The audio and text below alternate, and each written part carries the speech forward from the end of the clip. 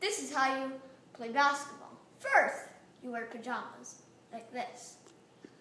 But watch this.